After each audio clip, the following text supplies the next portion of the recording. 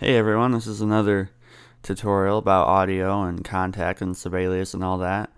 I know it was a while ago when I did my last one and I said I was going to do more. That was like two years ago. But uh, I guess that never happened. But here I am doing another one and you might notice I'm still using Sibelius 4. It's because I absolutely hate Sibelius 5 and Sibelius 6. Well, I haven't actually used 6, but I imagine it can't be much different from what I've read. I may actually be switching to Finale at some point in the future, but uh, I'll talk about that later. What I want to talk about today is some more advanced notation features that you can use in Sibelius and pretty much in any version of Sibelius.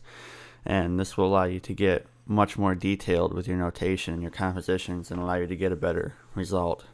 So I'm just going to start a new score, and I'm only going to use one instrument. I'm going to use uh, violin just for the heck of it. So we have our violin treble staff here. And the first thing I need to do before writing music is I have to come over into Kontakt and I have to get some sounds. And I'm still doing things the way I used to, except now I'm in Windows 7. So MIDI yoke wouldn't work, actually probably because I'm a 64-bit, not because I'm in Windows 7. I'm in 64-bit system now, so I had to find something new to uh, to use to go between Sibelius and Kontakt is a virtual MIDI cable. So I used LoopBe, which has uh, been working really well for me. It does the exact same thing, and um, it's right down here in my uh, my taskbar, and you can. Uh, this is what LoopBe30 looks like, and it works on 64-bit systems, so I can use the 64-bit samplers like 64-bit Kontakt and play and all that. So, um, you know, it's just in here pretty much the same as it was in the other tutorial. And, uh, yeah. So if you want to know how to do that, you can go watch the last tutorial. So I'm just going to go ahead and load up a violin sound. Let's do sustain. So I have my violin sound loaded now and you can just the usual. This is the sustain sound. So it has kind of slower attack to it and it's much softer than say the forte piano sound, which is a little bit more harsh. And of course the pizzicato sound, which is plucking. So I'll just unload all those for a minute. So channel one, we have a violin over here on channel one. Yay, C major. That's pretty soft, so suppose you want something a little more intense or maybe action oriented on your C major chord. First thing I would do is you can go up to play, transform, live playback, and you can set the velocity of your notes. And the velocity is pretty much how hard it hits the notes, and it's a number between 0 and 127. Um, in the sounds, there's pretty much settings. So from anywhere from like say 0 to 40, it's going to be a certain level, and like 40 to 60, it's going to be a certain level. Those aren't the numbers. I'm just making up numbers, but just to try and make a point. So if I set this to 127, It's much louder and a little bit more um, hard hitting. So that's one way to go about getting your sounds a little bit different. One thing I really like to do is um, you can go view live playback velocities, and it'll show you this little bar above your notes that you can use to actually manually control the velocity of all these notes. So let's move this out of the way for a minute. So right now it sounds like this.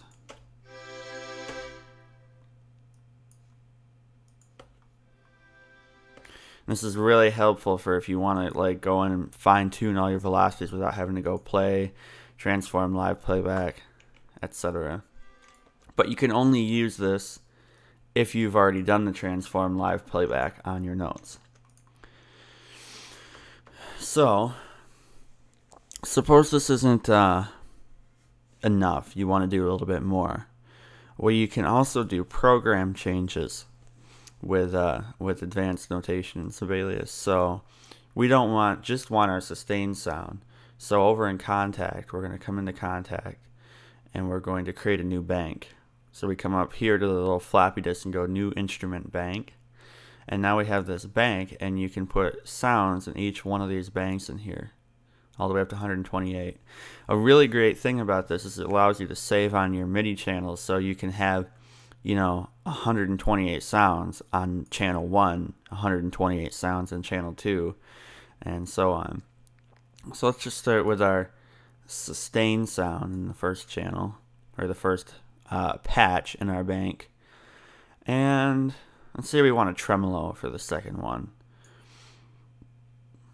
And always got to have our pizzicato. So now we have these three different sounds all on channel one, and in Sibelius, it's uh, it's not gonna work. How do you go? How do you go between them? So if you click on your notes, you can type essentially a little code in there, and it starts. So actually, what the first thing you do, you click on your notes and you hit Control plus E, and this brings up a little cursor line thingy, I beam so you can type. And you starts with tilde and you go P1. And that's telling it to use our first patch over here in Kontakt, which is the sustain. Ah, it works.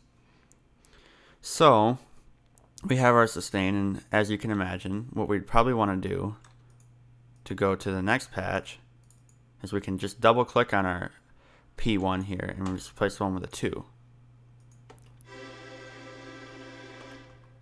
Tremolo. Pizzicato. No problem. So to get that little uh, bit of text to show up, it's actually hidden object. So you have to click on your notes, all three of them, like click on that part of the measure. And you do that, you can shift click on your notes like this, and that will show your hidden text. Now, I think a really a much better way to do this is to go view hidden objects, and there it is. It's just always there. It will show you every hidden object in your score.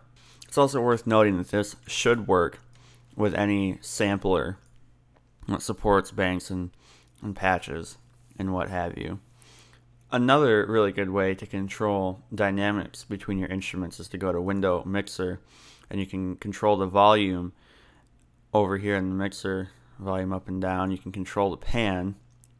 Anything below 63 is completely to the left or more to the left and anything above 63 is more to the right. 63 is the closest to halfway you get between 127 because that's the maximum amount you can have for a MIDI message. So anything like right in the middle is going to be pan to the center, except you can't have like 63 and a half or whatever. Now this mixer does look a lot different in Sibelius 5 and Sibelius 6, which I'll talk about now why I don't like Sibelius 5 and I'll go ahead and launch that and show you. Okay, so we have Sibelius 5 open here and at first it looks pretty similar and in fact a lot of the features and the way it works are pretty similar except when you go to play playback devices. This is a lot different. Now, it doesn't work like Sibelius 4. You can't simply set your LoopBe, which is this internal MIDI right here, as your MIDI cable and just go straight to Kontakt. Of course, that would be way too simple. You actually have to go in and create or download manual sound sets for all your VSTs, and you have to use things like Kontakt and Play Engine and whatever else is a VST instrument. You have to use it as a VST. The biggest problem with this is that, for one, I haven't found sound sets for Sibelius 5 for these, um, for these instruments. And, which means you have to make them yourself, which is incredibly complicated. I tried to get the sound set maker and I was just like, what on earth is this? Um, the other problem is that Sibelius is a 32 bit application which is really an issue, especially when you start using huge sample packs like play with like the choirs or the orchestra or whatever. You can only reference three gigs of RAM So you can only load so many instruments and then they start dropping out or performance cuts out and it's, it's just not good. Now, an alternative to this, I guess, is to get an application called JBridger. I'll post all links down below in the description.